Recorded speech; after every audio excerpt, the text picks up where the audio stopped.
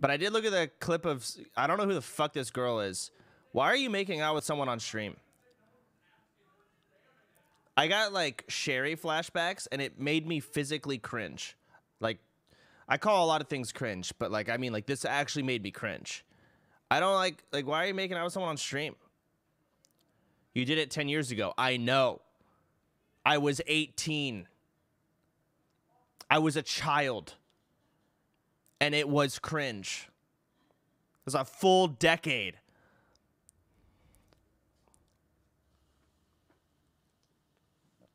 Stop making out with people on stream. It's weird.